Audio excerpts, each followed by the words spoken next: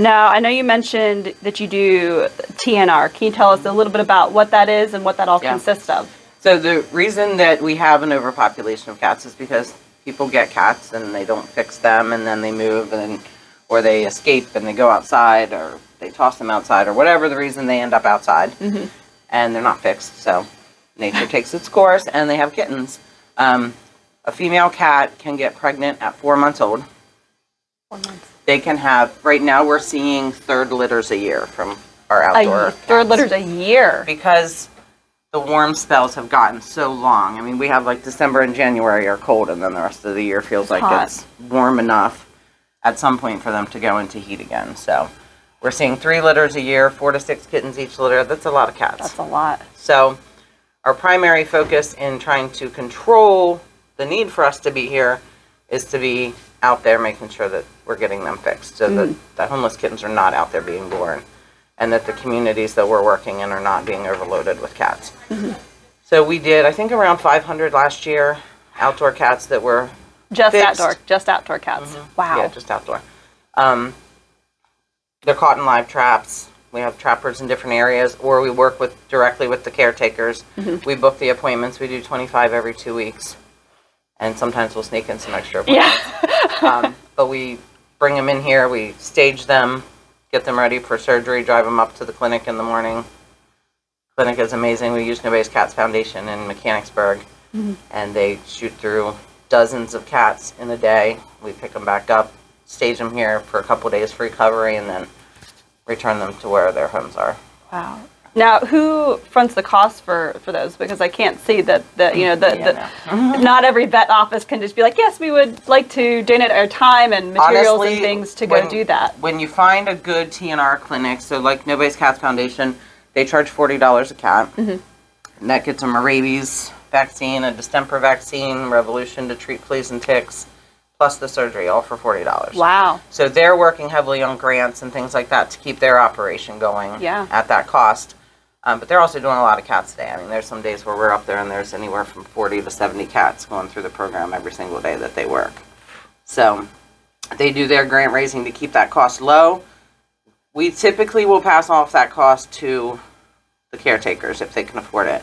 Um, there are some programs in Pennsylvania that some of the caretakers that don't have the money but have a lot of cats can reach out and try and get some funding for. Yeah, And then- because I'm sure there's places where it's like, uh, you know, let's say you you have your own backyard, and let's say you, you know, oh, I can't care for the cats, but I just I kind of give them food, and you end Mm-hmm. up having 20, uh, but you can't, you know, maybe they can't afford to get them fixed. Right, yeah, 20 times 40. Um, yeah, Even though 40 I is mean- cheap, 20 still a lot. Yeah. So yeah, for those kind of places, we typically have them ask for funding of some sort, or we'll come to terms. We do have a Spay It Forward program here where people make a donation to of help. forty dollars at a time to mm-hmm. pay for one of those cats that somebody can't. So Yeah. we do some, they do some, mm-hmm. funding does some. Yeah. It gets spread out. Mm-hmm. We make Now, it happen. now, why is uh, the TNR? Why is that more effective than, let's say, trapping all of them and then keeping them and trying to find homes for them that way? Most of your outdoor cats are under socialized cats. Finding them homes is so hard. We have a couple in the building at a time that, for whatever reason, if they can't be returned, we'll bring them in. Finding them homes is tricky. Yeah. If we did that, this whole place would be full of cats you couldn't touch. Yeah. They'd never leave. Mm-hmm. And we'd be hoarders. Yeah. So. We don't So it's be just not sustainable so to do it's something more like that. sustainable. You know, the other option is trap and remove. Well, Yeah. there's not a magic place that wants a million cats Yeah. outside. So moving them isn't sustainable. Mm-hmm. Um, trapping them and euthanizing them all is not sustainable. Yeah. Um, you have what's called the vacuum effect. You re- cats come to a place for a reason. Mm-hmm. There's a food source. You remove those cats, and the food source is prevalent. More cats More are coming come in, in. Mm-hmm. and then they're not going to be fixed. So we, we call it a managed colony. At that point, that you have your little old lady or whoever's feeding the cats is called the caretaker, and the caretaker is providing the food for the cats. The cats are fixed, they're vaccinated, they're healthier, Mm-hmm. they're not having kittens, so that population over time will dwindle, Mm-hmm. you know, due to Naturally. naturally old age or unnaturally traffic Mm-hmm. Yeah. predators, whatever. Um, eventually, they'll have less cats, but they also won't have that crazy influx of Them new just cats coming in all the time. This is their home, and they're protecting it from a bunch of newcomers. Yeah. So they, those colon those cat colonies kind of prevent others from coming in. Kind Yeah, of Periodically, some will sneak in, but it's mm-hmm. usually not in droves. a ton. Your male cats aren't coming in to mate because the female cats are fixed. and, Right. You know, they're not, the males aren't fighting with each other and they're not getting hurt and Yeah. it's just a healthier environment for them. What do you do if you, let's say, you know of a colony that's somewhere?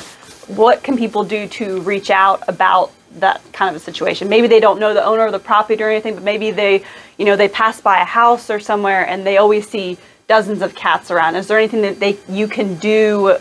to, to you help have, that. You have to have the caretaker on board. Mm-hmm. Caretaker has to be okay with the cats being there or coming back if they get fixed.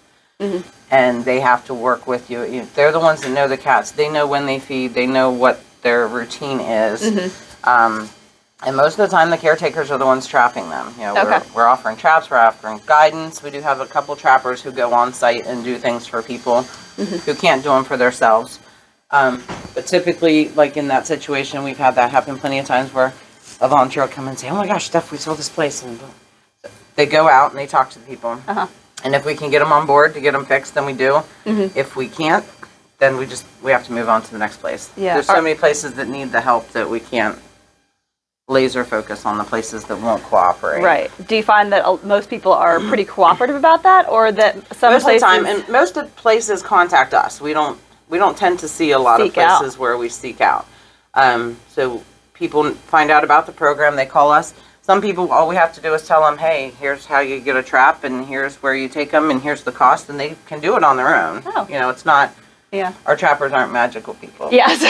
they don't have any crazy secrets. Um, it's something any person that's able-bodied enough can do. Mm-hmm. So a lot of people take it on themselves. Some people will use our appointments and do the trapping and bring them here. Mm-hmm. And um, sometimes we have the girls that'll have to go out and do it for them. yeah. And especially, especially your older community that Mm-hmm. can't drive or they can't bend over to set traps and That just like likes to have them they there, can but throw food out, but they can't be hands on the ground. Um, but most of these people, I mean, sometimes we'll get the call and they'll say, "Well, all these cats are here and they just can't stay here." Well, yeah. I, I don't have a place to tell you to take them, so Yeah. we Mm-hmm. can help you. We can fix them. We can get that population under control before it gets worse. Mm-hmm. Because I mean, a population you could have 15 cats outside and it can become 40 in the first year. you Yeah. know. well, when you said at four triple. months, at four months that they can breed, and if they're having three litters a year, and I mean, figure half the how cats many? are males, half are females. Yeah. it can happen really fast. Mm-hmm. So most people, when they realize there's not a magical place that's going to take them, will cooperate and at least try to get control. That way, there's not more than what they have right then and there. Yeah. Yeah. We just worked on a girl's place that had. She contacted us. She had 30. Wow.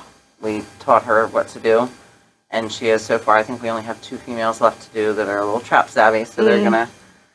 They're gonna be harder to do, but the rest of her population is not having kittens now. Mm, So now good. she's to the point where those two moms that were left when they had their last kittens, we were able to take them in and find them homes while she continues working on trying to trap them. Trying to get them. hmm Now she called us and said we have 20 mom cats and they all have kittens. We Yeah. we can't help with that. That's too many at one time. So she got it under control just in time hmm before it got worse, and she was super happy about it. That's great. Um, most of our cats come from these places where we're doing these trappings. So Mhm. I mean, we've been doing TNR since 2015, so we're we're in year eight. We've worked with a lot of people. Yeah. You know, if Mary Smith, we fixed all her cats eight years ago, a new friendly cat shows up and she's like, "This is somebody's pet. It got discarded. Whatever happened." We're still in communication with those people, and we take those Take cats those in. in. hmm So a lot of discarded pets we consider. We have people donate beach towels. beach towels. When we're doing our trap neuter return, we have to cover each trap, and a beach towel is like the perfect size to Uh huh. fully cover our traps. So we do accept beach towels here.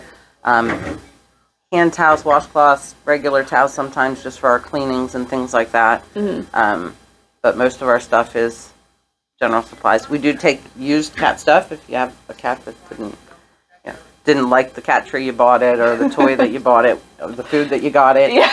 We'll take it. Between feeding the, everybody's like, well, I don't know if you take this kind of food or if you take an open bag or we're feeding cats that are living outside. yeah. You know, these Mhm. these people will use every ounce of food you drop off here. I promise you. Right. Not a single piece of food gets thrown away. Yeah, and at that point in program like time, any any you know for outdoor cats, I'm sure it's any food is better than no food. Also, your website talks about placing barn cats too. Uh-huh. Uh, so what is what would be the difference between you for barn cats and feral cats, for example? They're the same thing pretty much. So, well, typically, feral means unsocialized, not able to be handled. So, yeah, the cat might rub up on your foot, but if you can't pick it up and handle it, it's not a pet cat. Yeah. It's not going to thrive well in an indoor environment if it's. I have a barn cat who, over the top friendly, found him outside, brought him in, he escaped outside. I brought him in, he escaped outside. He's not going to stay inside. Yeah, That's what he knows and that's what he wants. Um, he'll come in, but he's going to go out He's as soon as he's out. ready to. Um, so that's indoor, outdoor cats, barn cats. Some cats just they get into a house, they've never had a litter box. They don't know what a litter box is. The world is their litter box, so they want to be outside. Um, typically with our barn cat program, so when we start on a community where you know, maybe the caretaker passed away. Mm-hmm. Oh no, she's feeding 15 cats outside. What do we do? We're talking to the neighbors. We're trying to inch them over to the next property if Yeah. we can. Sometimes there's just nobody around who will accept them. Mm-hmm. So at that point, you need to move them somewhere else. We had a hoarding situation in Franklin County that we just helped with, um, and those girls are working their butts off to try to relocate these cats. So when people apply for a barn cat through us, if we don't actively have any, we're reaching out to those trappers that are working on those projects and yeah. finding them a new kitty. to bring to So in that barn. situation that let's say the caretaker passed away, you would take those, let's say those feral cats that maybe have already gotten fixed, or as you trap them, then you just move them to, let's After say, we fix 'em. after, after you fix them, then after, Yeah. Mm-hmm. then you move them to a just different property to hopefully be able to, yeah, we you know, do we, acclimate to the area. And we do an acclimation period. So during that, basically, they take an outbuilding of some sort. If they have a barn, then that's perfect. Um, somewhere where they can secure the cat. Mhm. Cats usually, we try and do them in pairs, especially if there's not an active colony. Mhm. Um, somewhere they can be sheltered, fed, change litter boxes while they learn the new environment. They learn the sounds, they learn the person who's feeding them, Mhm. and then we get a, I'd say a 75% stick around rate. yeah. How long do you Now, if typically you picked kind up of? the cat and moved it and opened the trap and let it out in a new place, it's going to be. it's just going to be gone. Gone. Yeah. Yeah. hmm How long do you typically do the acclimation period for those? we tell people two to four weeks. two to four weeks. Yep. Depends on, you know, if the cat's still freaking out in that first two week period, maybe it's not ready yet. Yeah. You know, they kind of, usually two weeks is pretty substantial Mm-hmm. to get that, that stick around rate.